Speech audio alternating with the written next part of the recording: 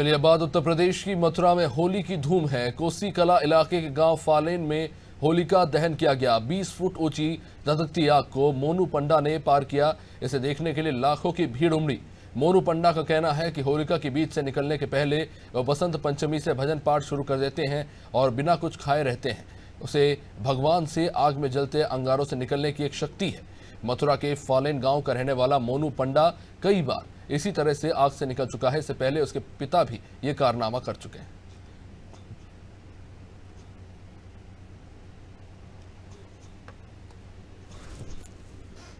पहले तैयारी करते हैं और 40 दिन का हमारा नियम है कि एक लोग बतासे से ही हम पूर्ण व्रत करते हैं।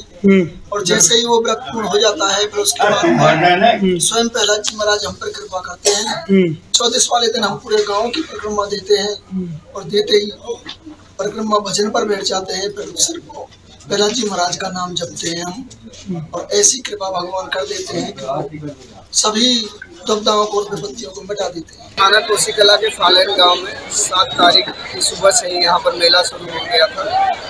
और दिन भर मेला और विभिन्न होली के कार्यक्रम हुए हैं और आज आठ की सुबह लगभग साढ़े चार से पाँच बजे के बीच में यहाँ पर पंडा ने होलिका दहन के बाद उसमें से निकल, निकलते हुए किया है इसके लिए पुलिस प्रशासन ने काफ़ी इंतज़ाम किए हुए थे। यहाँ पर हमारी विभिन्न ड्यूटियाँ लगी हुई थी फायर टेंडर और एंबुलेंस की भी व्यवस्था सभी व्यवस्थाएँ और ये त्यौहार अच्छे से